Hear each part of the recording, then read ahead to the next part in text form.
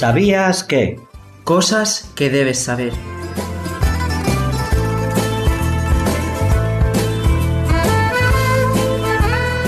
En Luz a las Naciones, tu canal cristiano de comunicación. En el programa semanal ¿Sabías que? te presentamos Los nombres de Dios.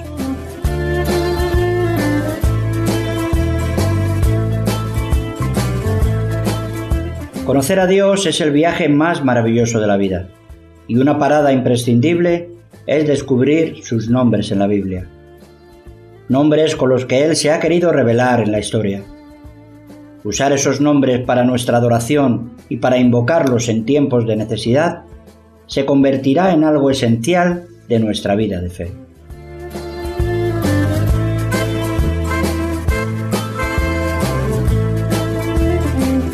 Pero estos nombres de Dios, ¿qué significan? ¿Quién es Dios? Dios es espíritu, infinito, eterno e inmutable en su ser. Sabiduría, poder, santidad, justicia, bondad y verdad.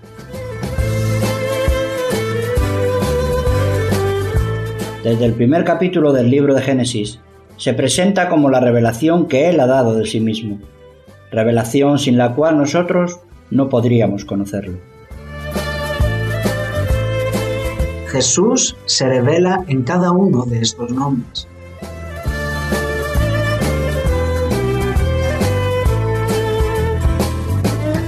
Por eso nuestro mayor deseo y el propósito de este nuevo espacio es que Dios nos lo pueda dar a conocer a través de su palabra.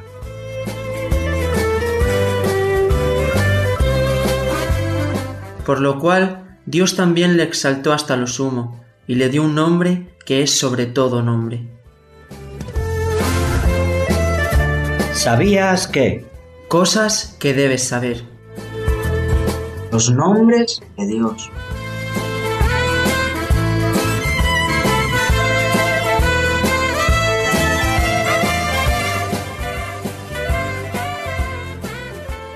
Otros nombres y títulos de Jesús.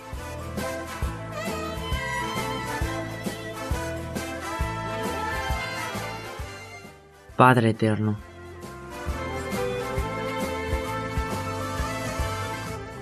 Los nombres de Cristo. Padre eterno.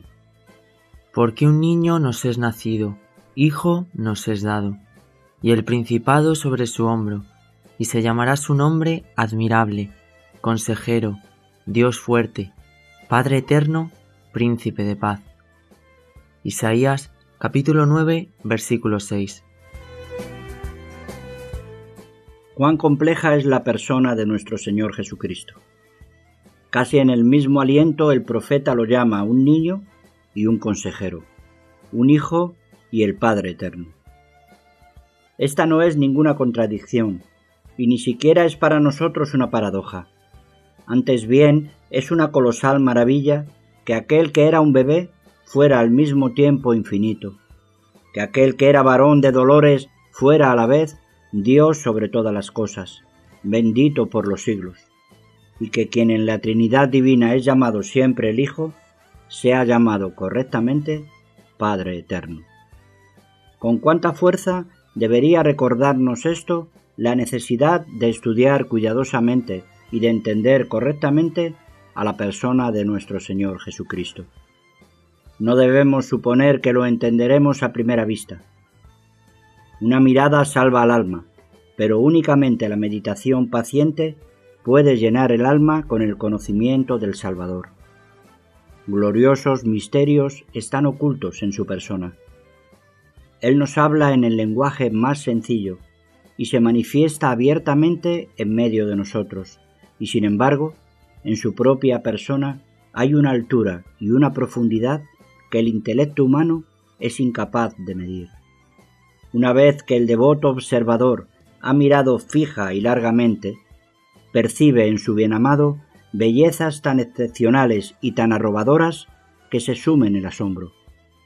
La contemplación continua conduce al alma, por el poder del Espíritu Santo, a una elevación de delirante admiración que los menos entendidos desconocen por completo. El misterio de la persona de nuestro Señor es tan profundo que Él tiene que revelarse a nosotros, ya que, de otra manera, nunca lo conoceremos. La investigación no puede descubrirlo, ni tampoco la razón puede discernirlo. Bienaventurado eres, Simón, hijo de Jonás, le dijo Cristo a Pedro, porque no te lo reveló carne ni sangre. Cuando agradó a Dios, dice el apóstol, revelar a su Hijo en mí. Otro apóstol le hizo la pregunta, ¿Cómo es que te manifestarás a nosotros? No hay forma de ver a Jesús excepto a través de su propia luz. Él es la puerta, pero nadie abre esa puerta excepto Jesús mismo, pues Él abre y ninguno cierra, y cierra y ninguno abre. Él es la lección, pero es también el maestro. Él es la llave y la cerradura, la respuesta y el enigma, el camino y el guía. Él es lo que ha de ser visto, pues hemos de mirarlo a Él. Pero es por Él que somos habilitados para ver, pues Él da la vista a los ciegos. Principio de un sermón predicado la mañana del domingo 9 de diciembre del año 1866 por Charles Haydon Spurgeon en el Tabernáculo Metropolitano Newington de Londres.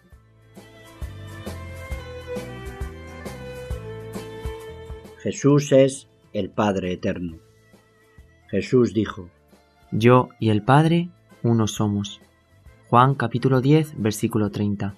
Y también la Escritura dice, Por esto los judíos aún más procuraban matarle, porque decía que Dios era su propio Padre, haciéndose igual a Dios.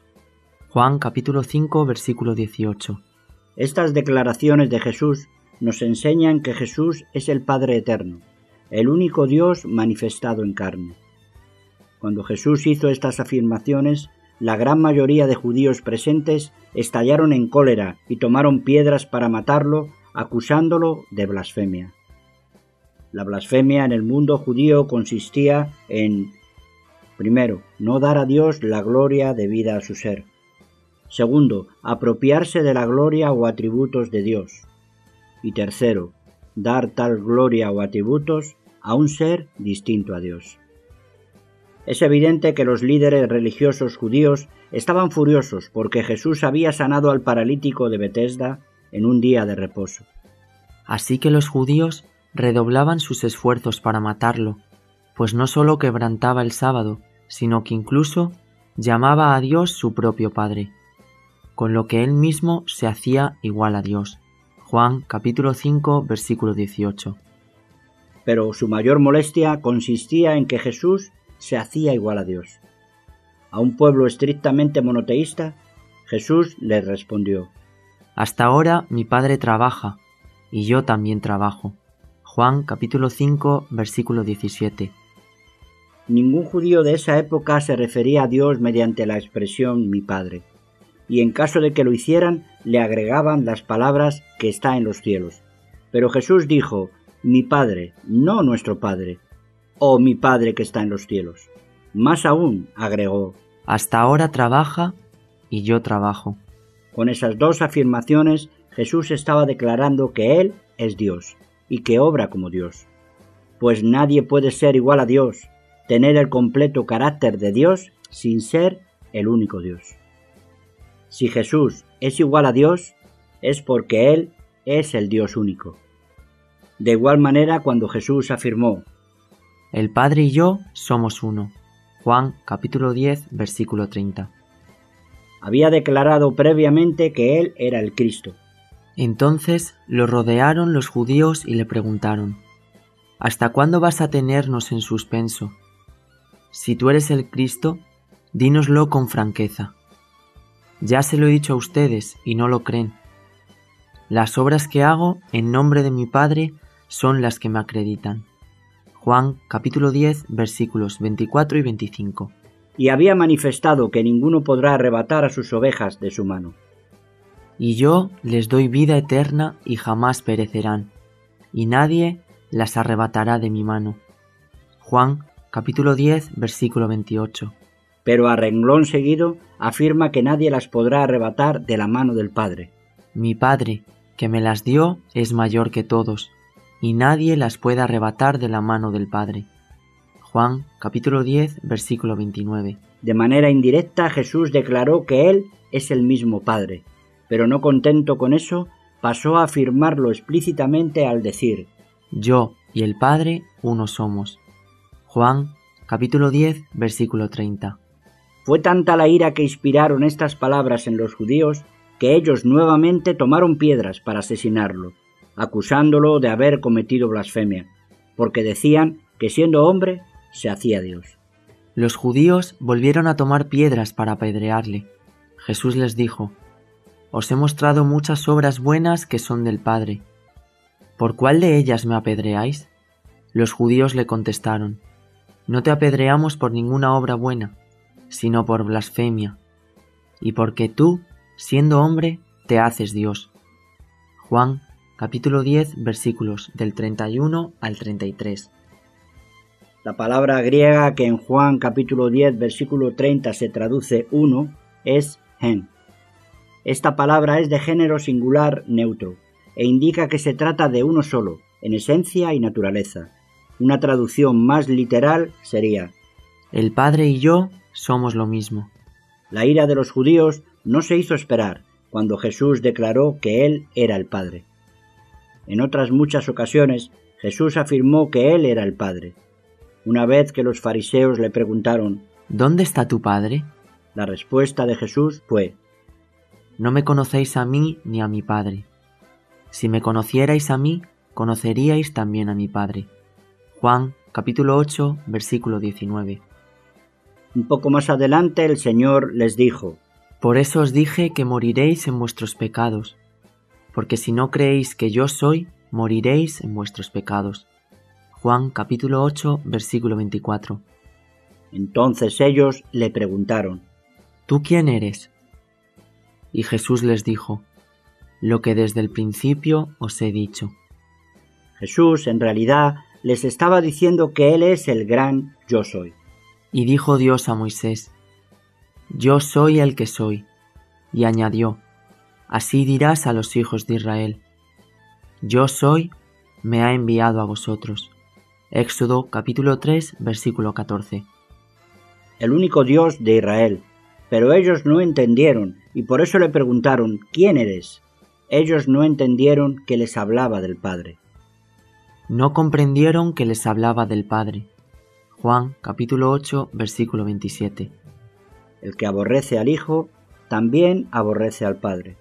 El que me odia a mí, odia también a mi Padre. Juan 15 23. Todo lo que el Padre hace, lo hace el Hijo igualmente. Por eso Jesús respondiendo les decía, En verdad, en verdad os digo, que el Hijo no puede hacer nada por su cuenta, sino lo que ve hacer al Padre porque todo lo que hace el Padre, eso también hace el Hijo de igual manera. Juan 5, 19. Todos deben honrar al Hijo como honran al Padre. Para que todos honren al Hijo así como honran al Padre. El que no honra al Hijo, no honra al Padre que le envió. Juan capítulo 5, versículo 23.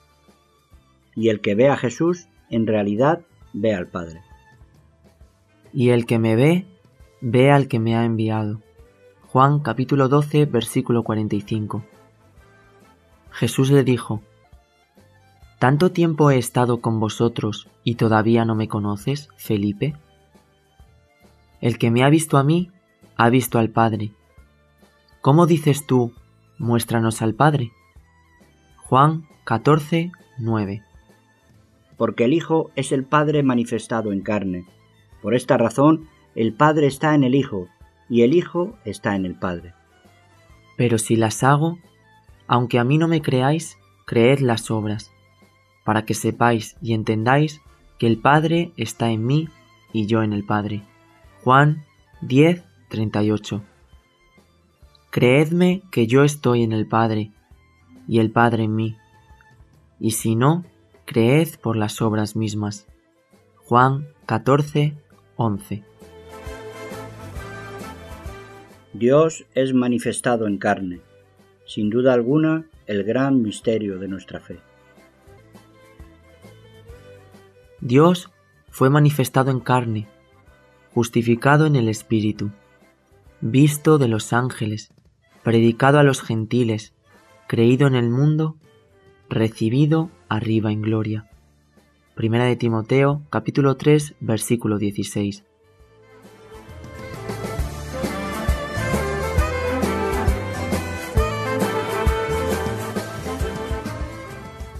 Que Dios os bendiga. Nos vemos en el próximo capítulo de ¿Sabías qué? Cosas que debes saber.